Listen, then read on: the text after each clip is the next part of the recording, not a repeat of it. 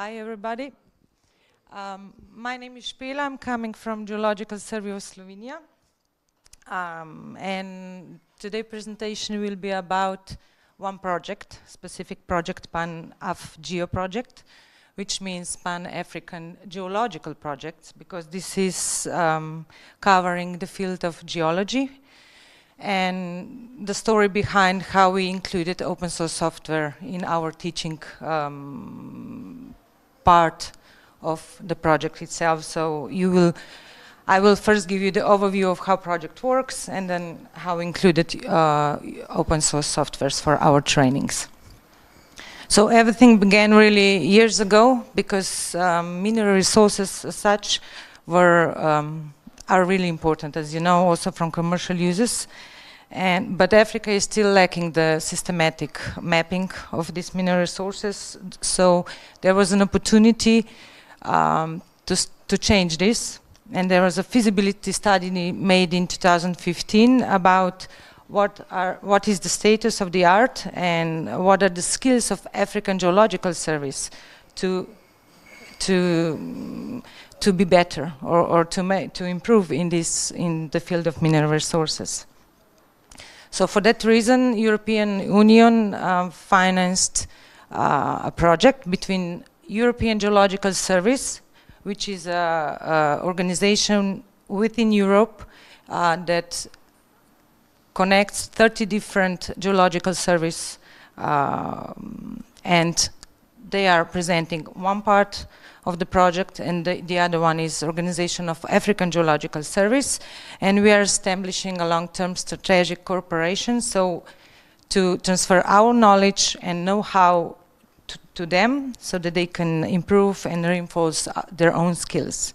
And also this is um, uh, you have some um, key networks and partners involved so these were the main, are still the main objectives because the project finishes in this year. Um, so the regional mapping, mineral resource mapping and exploration, upgrading geoscientific information base, upgrading mineral inventories, uh, these are the key points that we want to improve. This is the European consortium. As you can see, uh, 12 geological surveys are included in this consortium with a lead partner from France. And the project consists of eight work packages dealing with different uh, ge geoscientific skills. As you can see, there is ge geoscientific mapping, uh, mineral resource assessment, artesian small-scale mining, but also environmental management of mines, um, geohazard, geosites, um, as well as geoinformation management. And it is set in a way that you have a, a European leader of the work package and also we have a co-leader on the African side so that the impact could be or is it is uh, higher.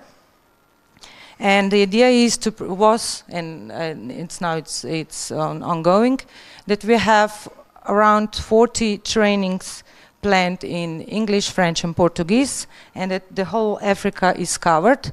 So these are the locations where uh, it was provisional maps where the training should be taking uh, uh, should be hosted in which countries. So 500 days of training, 11,000 days of trainees presence. So all together 42 trainings uh, through the three years uh, project duration.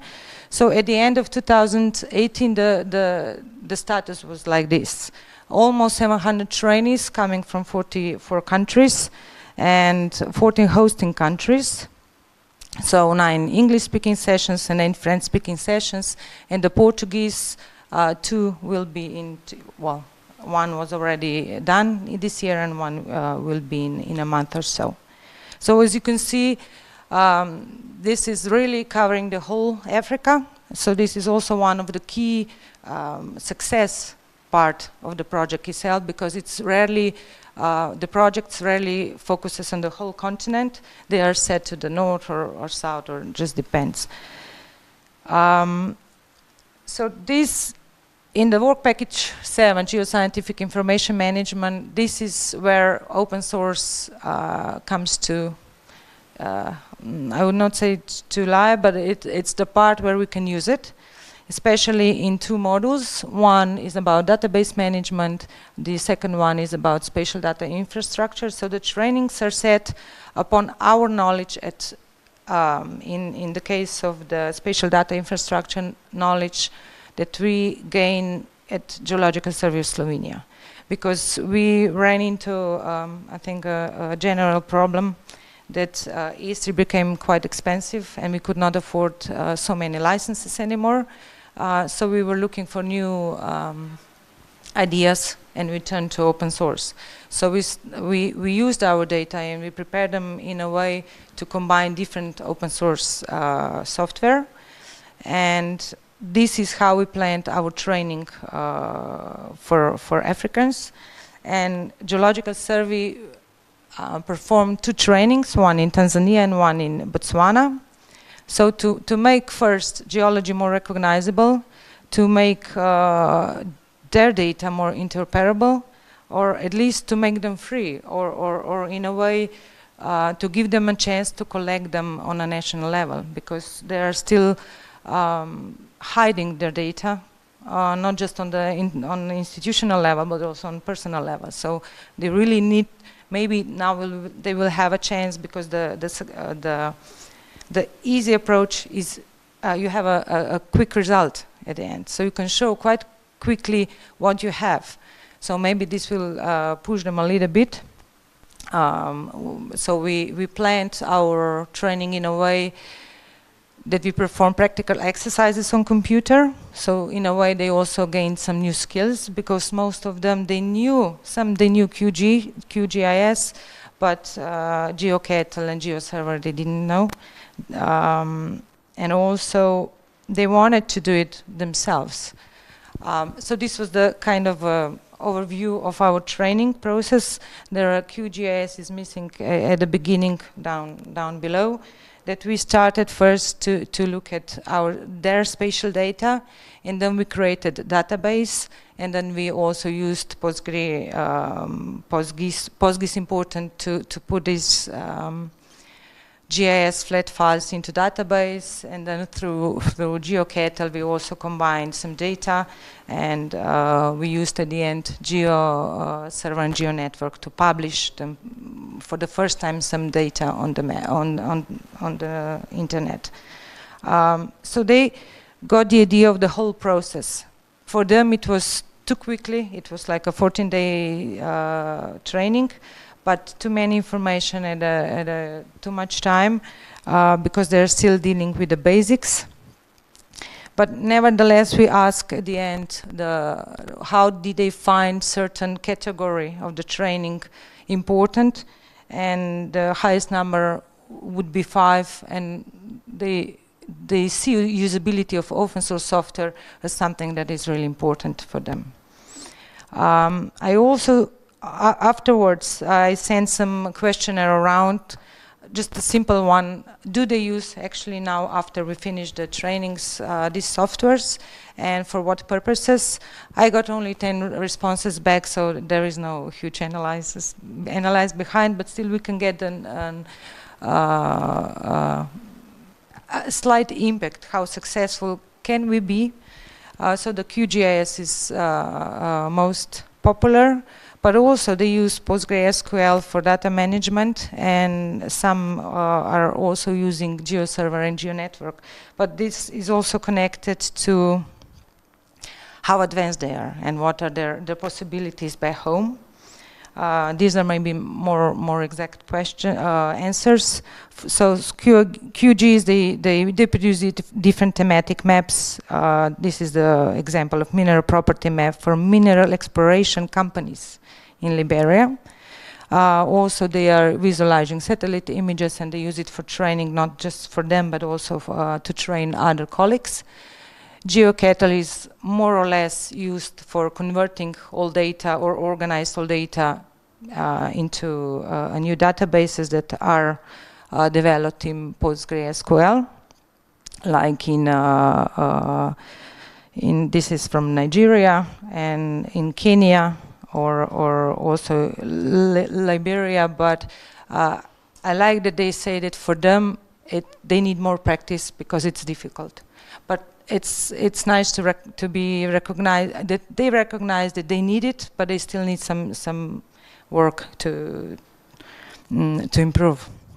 And GeoServer for sharing geological data, and GeoNetwork for metadata, and cataloging different type of data in their server survey. So my conclusions are that even though they are they have unequal possibilities because of the politics, because of the financial issues, because of the um, human resources. Usually there are one-man band uh, who should, uh, with a geological background even, so it's hard for them.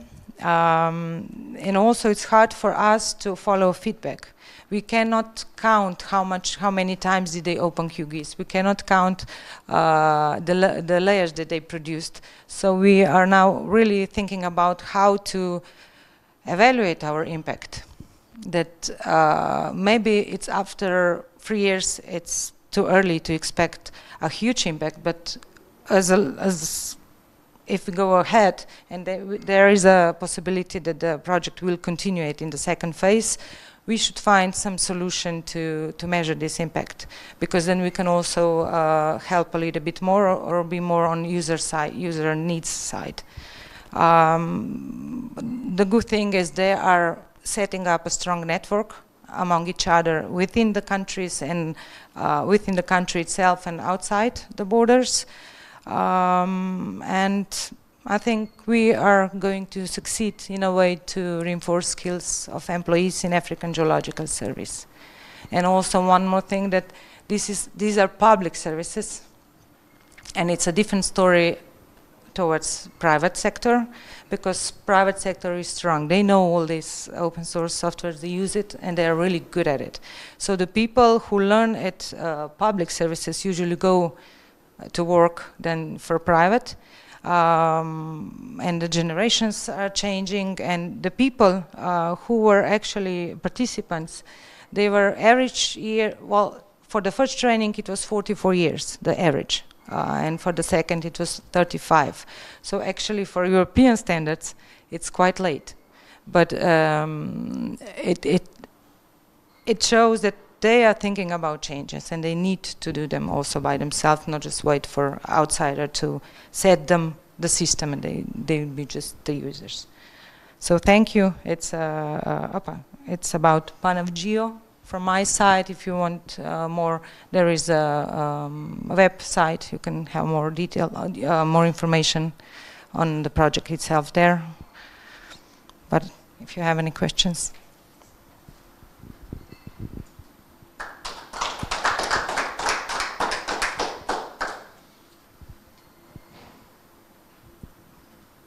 So this is basically only for public sector.